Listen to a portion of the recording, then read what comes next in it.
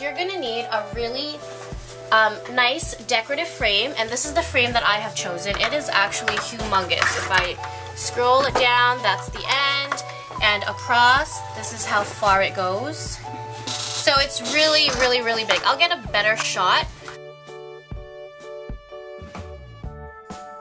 And then you're also gonna need this right here, which is called chicken wire. And I got this at my local dollar store. It's wide enough to fit across um, the opening of this frame.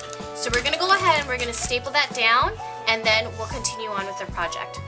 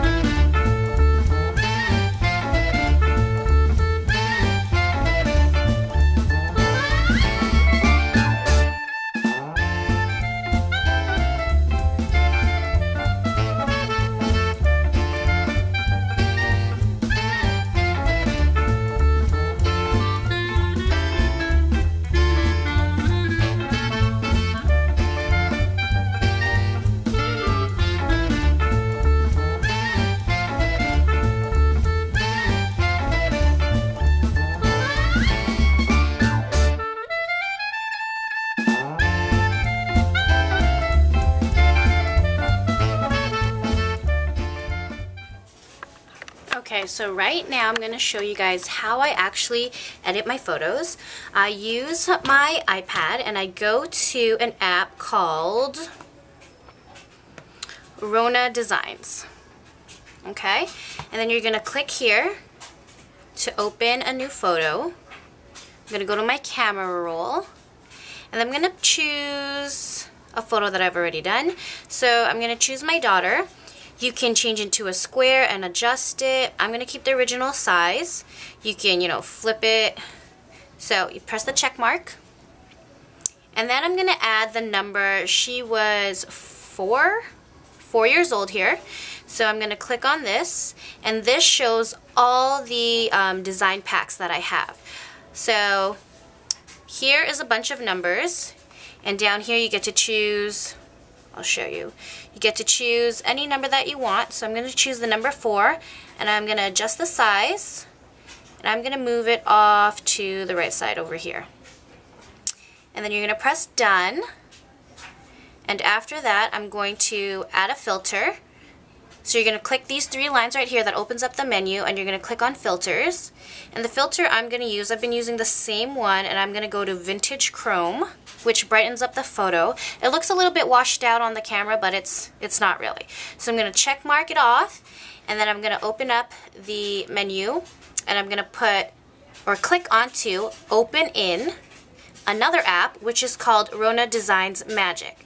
Now this is where you get to add a bunch of new um, features and layers. So while it's opening,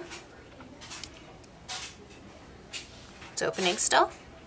So we're going to add a layer. We're going to click on that. And it's going to be, there's adjustments, filters, candy, which is different um, tones. Um, there's bokeh or bokeh, um, which is the little dots. There's light leaks, which changes the color. And you can adjust the color and move it around wherever you want. So I'm not using that one. Oops. I'm going to delete the layers because it's adding them for me. So we're going to go add layer again. So there's light leaks, edges, and this obviously gives the edges of the photo a different feel. And then there's also a blur, which you can focus on which part of the photo you want blurred out different types of textures onto the photo. There's newsprint, so now you can see her face has some writing on it. Um, different types of newsprint. Then there's different types of textures. There's this type of pattern that you could overlay the photo with.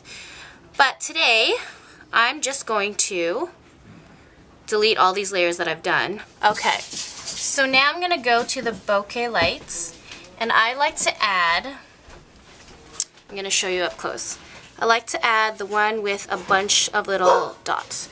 So now you can see, oh my gosh, somebody just came home. Don't mind the voices and my dog.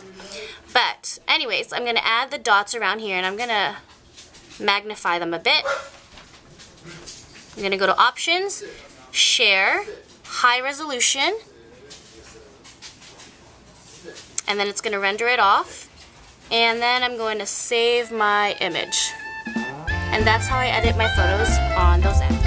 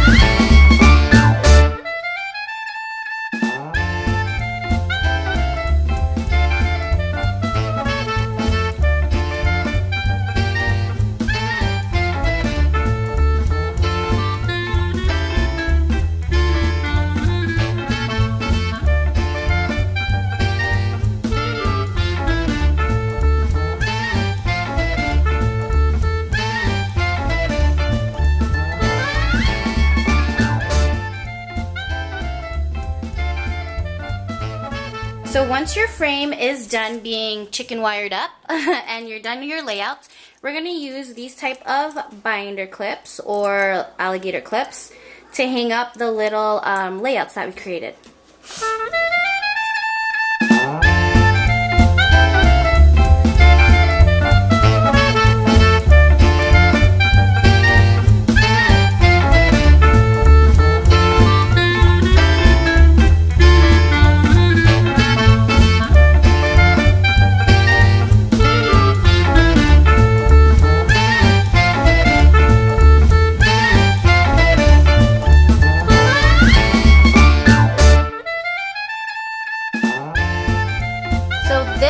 Finished project. Um, the chicken wire is all up and all the photos, the little layouts are hung. On the top here I made a banner that says you're my cup of tea and it has her name Alyssa. There's her first birthday, her second, her third. Then you move on over on this side and there's her fourth, her fifth, and then her sixth and her seventh birthday this June, I'll be placing a photo right in the center. And this um, frame will be displayed on an easel so everybody can see it. I hope you guys like the project and thank you guys so much for watching. Bye!